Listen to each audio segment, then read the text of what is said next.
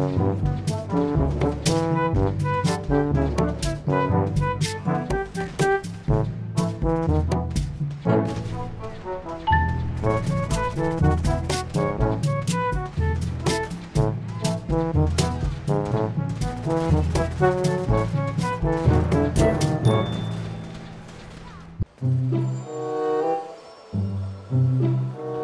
me, if you aren't Brotherhood, out of my way, Wastelander. Back off, civilian. I don't have time for you right now. Can't talk while I'm on duty.